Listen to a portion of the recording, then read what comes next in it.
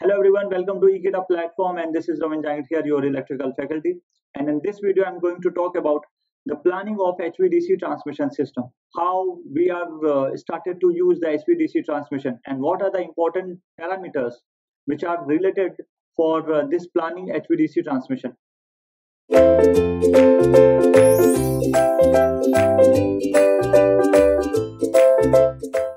So some of the important uh, parameters, or you can say the major important parameters, are actually discussed here. One of them is economical factor, another is your technical performance, and third is your reliability. These topics I have already covered in the previous lectures. So one by one, I'm going to add uh, some points here. If I'm talking about the transmission system, if there are the two transmission systems which are having the same uh, technological not the same you can say the similar technological performance and the reliability then we will go for the economical factor okay? So you can say the economical factor economical factor parameter factor is generally considered generally considered as compared to as compared to technological performance and the reliability.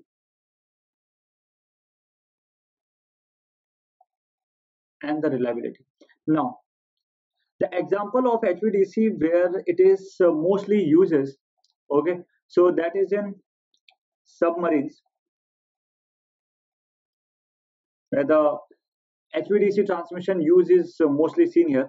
The submarines and underwater underwater cabling.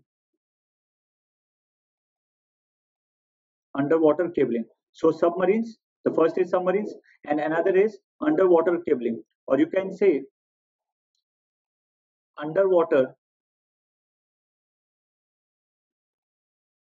transmission system okay? Now so this uh, these are the some points which i have already discussed.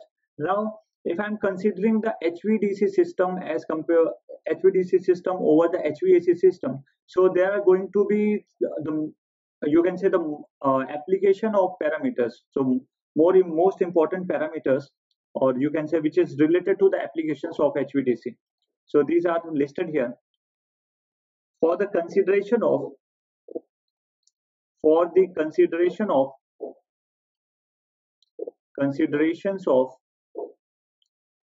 HVDC transmission system HVDC transmission system it is having following two major two major important application parameters. Application parameters. Okay and what are these? Okay so now the first is your bulk power bulk power long distance long distance power transmission power transmission. Okay. This is power transmission. Okay. For the long distance uh, transmission we are having only the two options HVAC or uh, HVDC transmissions. But why we are using the HVDC transmission? Because for the long distance transmission and uh, for carrying the same amount of power as it is uh, carrying in the HVAC transmission system so for carrying the same amount of power, if the distance is more, then the losses in the HVAC system will be more as compared to the HVDC systems. So look at here. For transmitting the power, transmitting the power from one end to other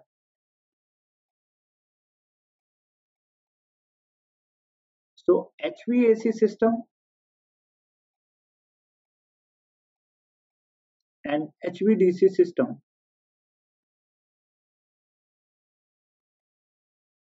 carrying same amount of power carrying same amount of power then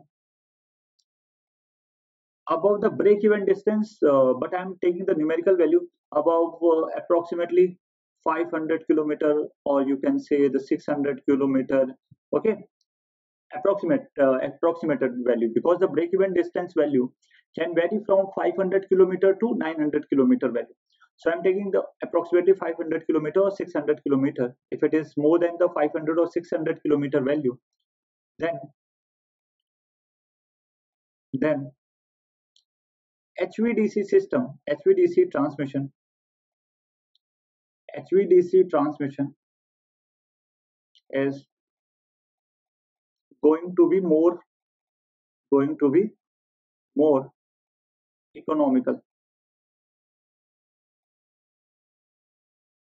Now so this is the bulk power transmission. This is the one uh, one of the applications from that we have discussed the two major applications. Now i'm discussing for the second one. If i'm talking about the second one then it is uh, related with the interconnections of the two systems. So what are the interconnections of the uh, two systems? Are as interconnections between two transmission systems. Okay, so if I'm talking about the two transmission system which are interconnected or you can say the for the reliable operation, they are actually interconnected. Then we are having the AC tie lines and the different tie lines are uh, proposed already in the power system. But when we are talking about the majority of HVDC and the HVAC tie lines, then the asynchronous type, which is actually the DC type, because it is not depending on the any frequency. The two systems which are having the different frequencies can be connected to each other, can communicate or uh, they channelize the power in between them. Okay, so interconnection between the two power systems. Now look at uh, these points here. Okay, that in the sum of cases, some of the cases some of the cases the problems in HVAC systems can be seen.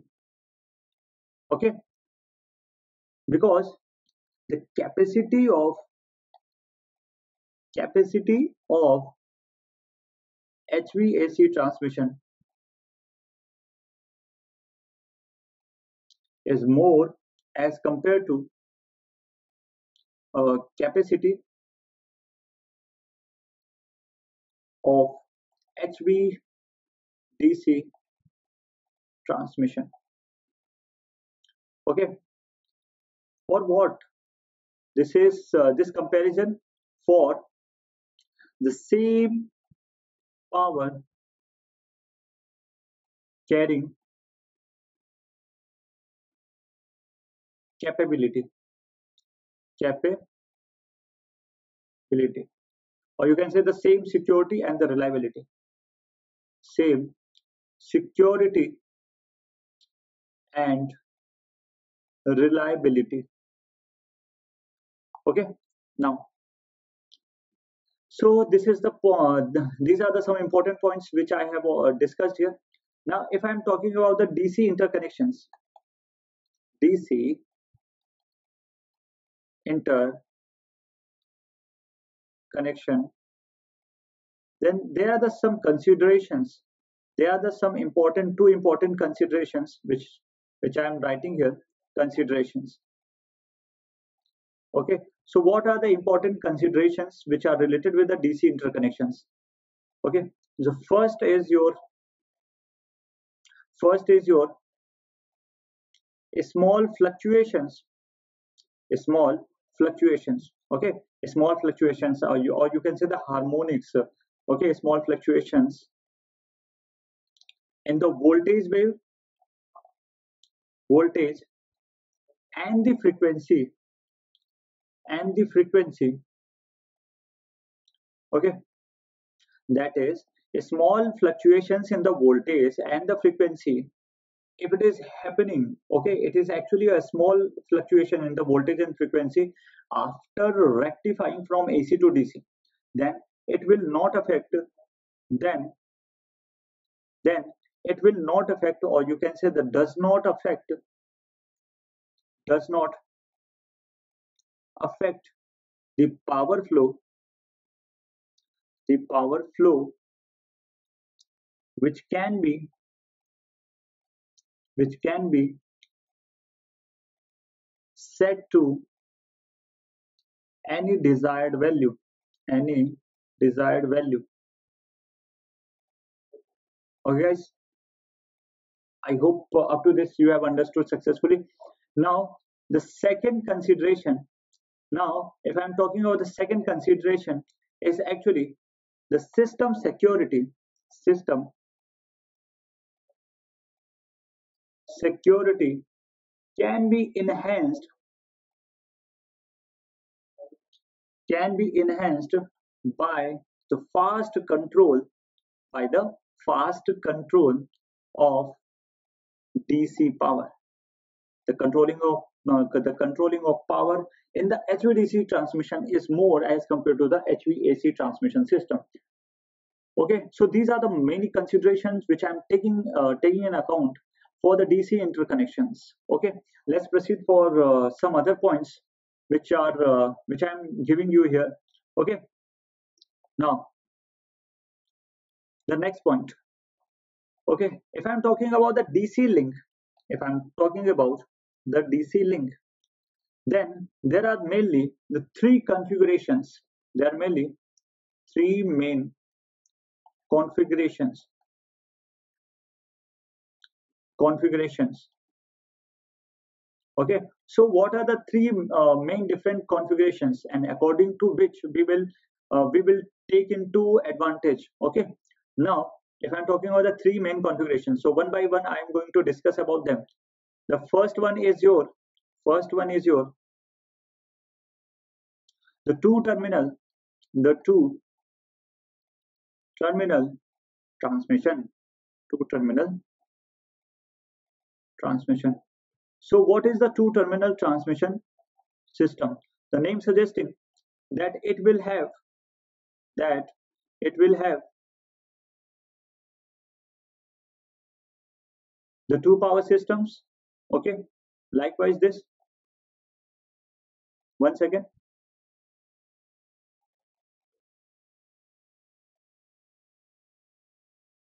okay similarly.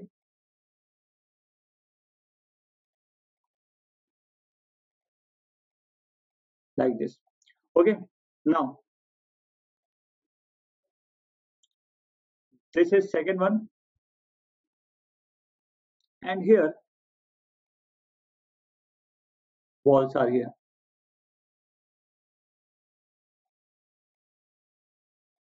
Okay? And these are actually interconnected like this so this is actually a two terminal transmission system. So i can write these uh, two systems so the two terminal transmission these two systems are located are located at the suitable distance suitable distance within the network. This is the important point okay? Within the network. Network okay in that area where it it may be lastly possible. It is worse to impossible you can say. The last possible two different uh, or you can say the two diametrically opposite uh, power systems okay the networks. So that network within that network there are the two power stations which are connected like this. Now i am going to talk about the second point. The second point is actually the back to back back to back back to back back to back DC link, not the DC, back to back AC link, back to back AC link. okay so what is its diagram like this?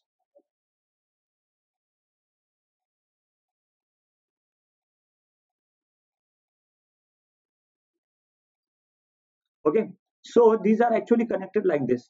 Look at here. And uh, the first one is having direction in this side. Okay and second one second one is having the direction in this side. And they are connecting with this. Here is the bus bar. Okay? So i'm writing the point here for uh, this one. Uh, for the ac link. Okay? So now the uh, i can write here the somewhere the somewhere within within one of the network of the network. Okay and these networks are connected connected by AC line to other network to common station now i'm taking the third point okay? So that is also the back to back. That is also the back to back. One second. Back to back. Back to back. Dc link. Back to back dc link. It is having the diagram like this the same way as uh, above two okay? Now it will have inside it uh, one component here. Okay. Now these are actually not like this. These are actually shifted more close to this is the important point here. These are shifted more close to each other as compared to the first one. It is similar to first one but they are closer to each other. Okay? Like this. And now they are connected in accordance. Now i am adding the sum of the points here that located close to each other. One second. Close to each other between the two stations. Between two stations between the two stations. If i'm talking about the uh, that is the two terminal transmission back to back ac link transmission and back to back dc link okay? And out of these uh, three so according according to our uses i can say that according to our uses so we are selecting the two terminal or back to back ac or back to back dc link okay? So i'm giving you the some notable points here. So points to note here the first point. The first point you have to write that the first is out of out of the first two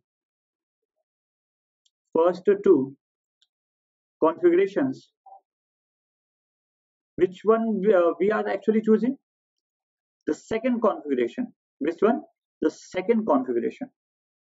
Second configuration we are choosing okay. But why we are choosing the second configuration? But why we are choosing the uh, second configuration? Because the converter because the converter costing is because the converter costing is less one second is less for the common coupling stations common coupling stations and the AC link cost and the AC link cost. Out of the first two configurations, we are actually choosing the second configurations because the converting costing, the, the costing is more important if we are considering any configurations. That's why the different different types of configurations are uh, shown here. Okay, but when in case of the second configuration look at here.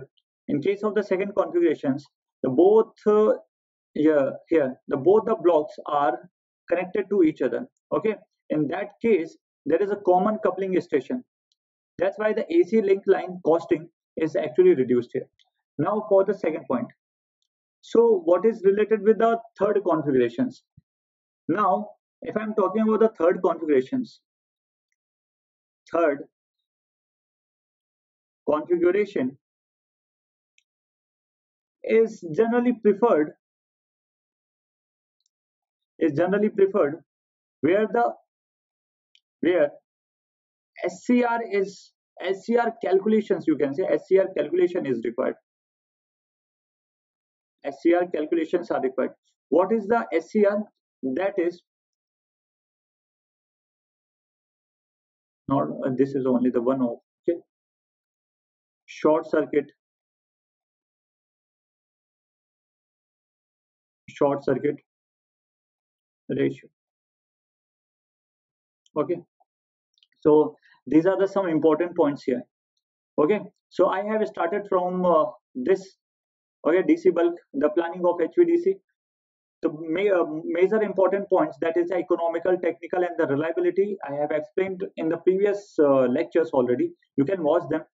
And uh, if i'm considering the dc link okay for the transmission then the bulk power long distance and the interconnections is uh, important parameter while considering. And these are the configurations uh, for connecting any two stations uh, which are one is the two terminal where the uh, the two blocks are you can say the two power systems are located far from each other but they are within the network it means they are in the possibility where the transmission can be taken in account now the back-to-back AC link, the two blocks, okay, two power systems are connected, or you can say they're having the common coupling. And that's why the costing is uh, reduced. So that's why we are from the first and second we are considering the two. Okay. So I hope uh, up to these uh, up to this point or up to this lecture you have uh, successfully understood. So tata bye bye and thank you.